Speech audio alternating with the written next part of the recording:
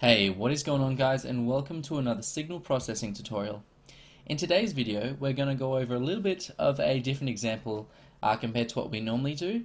Uh, so hopefully you enjoy it. Uh, let's get started. So in our real world example today, let's say uh, we are bird watchers and we are looking for the cedar waxwing. Uh, that is this lovely bird here. And we do a little bit of research and we find out that its song uh, is between 6 and 8 kilohertz.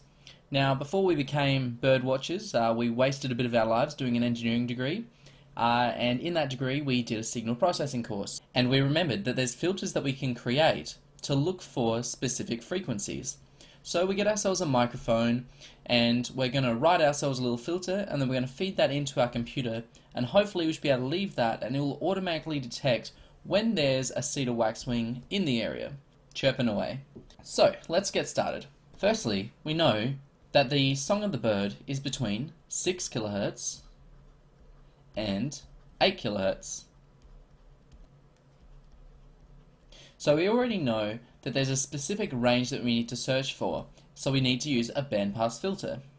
The next thing that we remember is that there was a specific type of filter called a Butterworth filter, and a second order Butterworth filter had the transfer function, T of S, of 1 divided by S squared plus root 2 S plus 1. And then because we have a really good memory, we also remembered that the transformation to go from a low pass to a band pass filter is S becomes QC and then inside brackets S divided by omega naught plus omega naught divided by S, where QC can be given by omega naught divided by our bandwidth, and where omega naught is given by the square root of our lower limit W1 multiplied by our upper limit W2. Okay, so we have all of the elements here that we need to be able to create our bandpass filter. So before we go any further, let's convert our 6 kHz and 8 kHz into radians per second for our Omega 1 and our Omega 2 values. Converting from Hertz to radians per second is simply multiplying by 2 pi. Therefore, 6 kHz times by 2 pi is equal to 37.7 k radians per second and that's equal to our omega 1 because it is our lower cutoff frequency. Then we can calculate our upper cutoff frequency which is 8 kilohertz times by 2 pi which is equal to 50.265 k radians per second. And that's equal to our omega 2. Okay, so now that we have omega 1 and omega 2, we can calculate our omega naught. That's simply the square root of 50.265k times by 37.7k. And that's equal to 43.531 k radians per second. And that's equal to omega naught. Firstly, let's quickly calculate our bandwidth. BW is equal to our upper limit, 50,265, minus our lower limit, 37,700. And that's equal to 12,565.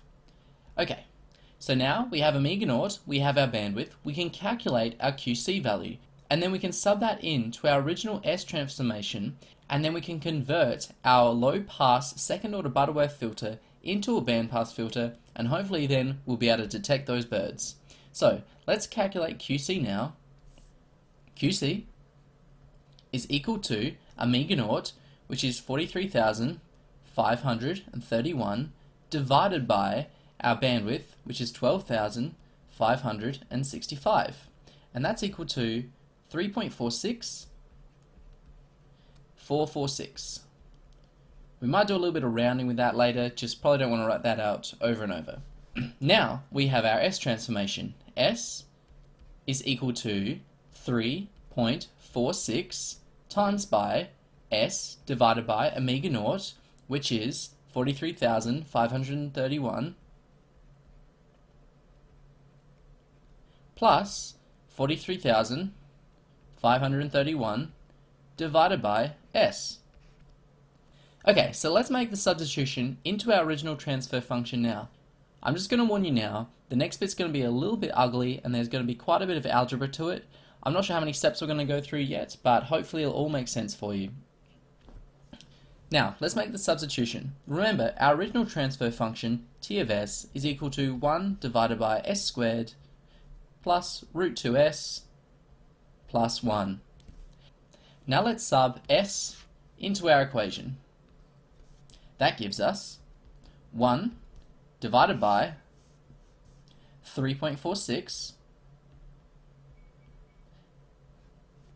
multiplied by s divided by 43,531 plus 43,531 divided by s.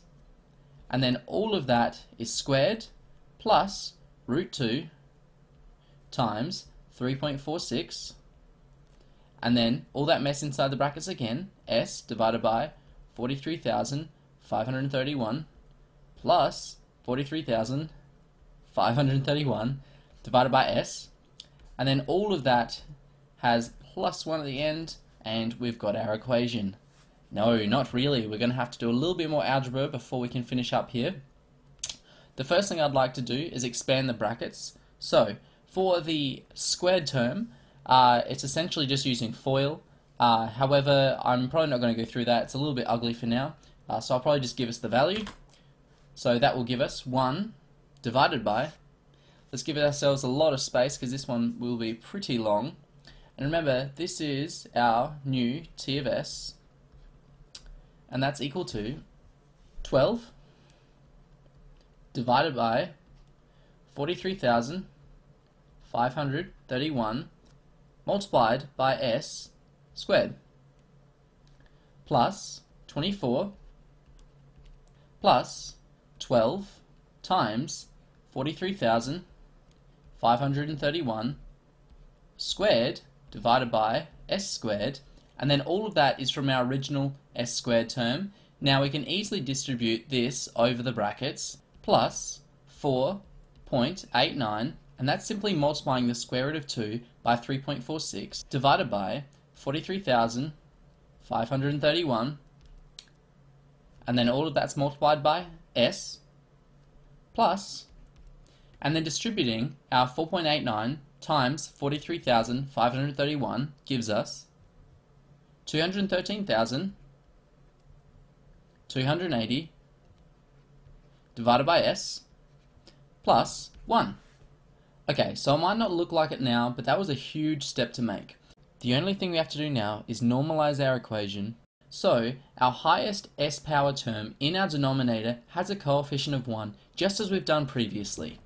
We can firstly do that by multiplying by s squared through the whole equation.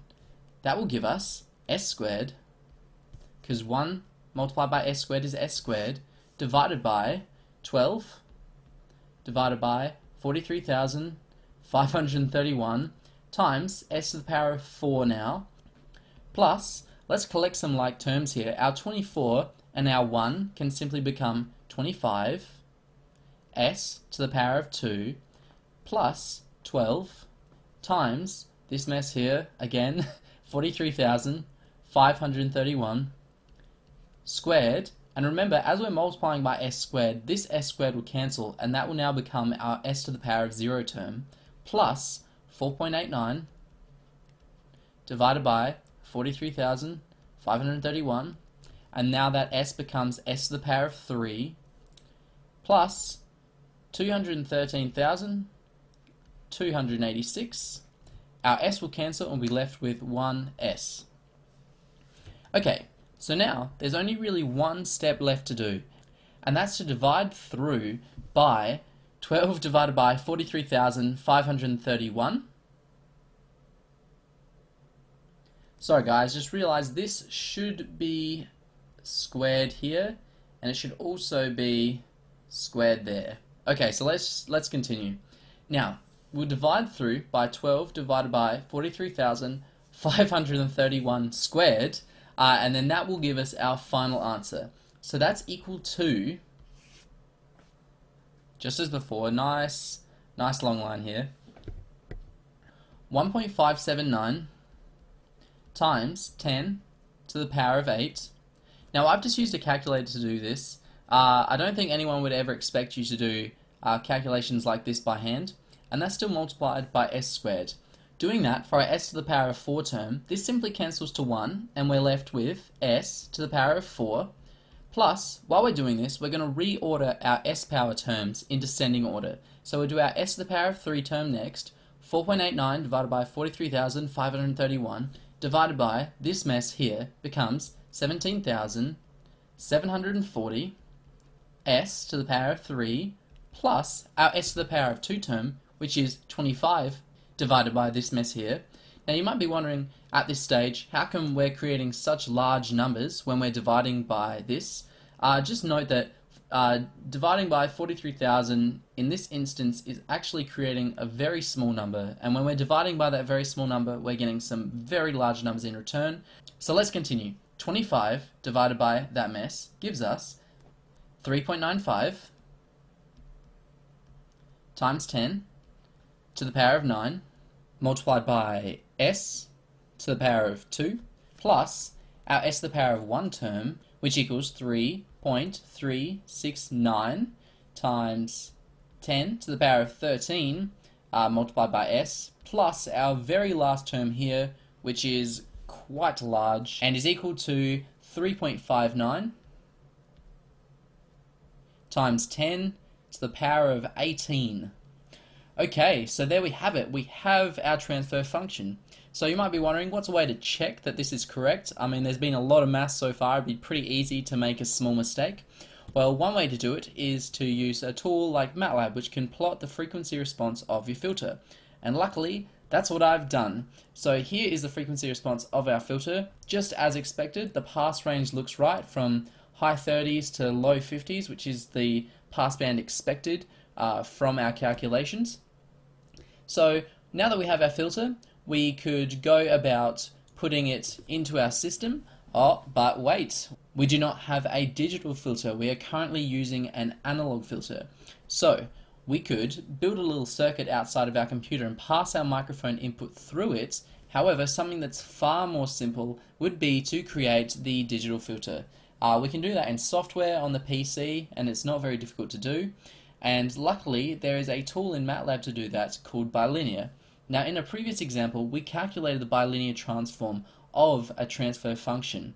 However, in this instance, uh, it's very complex uh, just due to the high degree powers of S, and the procedure is essentially the same for this as it was in that. The only thing that's ugly is the algebra. Luckily, we have MATLAB. So, once performing the bilinear transform, we get h of z, our frequency response of our digital filter, and that's equal to 0.0104 minus 0.02 072 times z to the power of negative 2, and remember this is just a delay, plus 0.01 042 times z to the power of negative 4.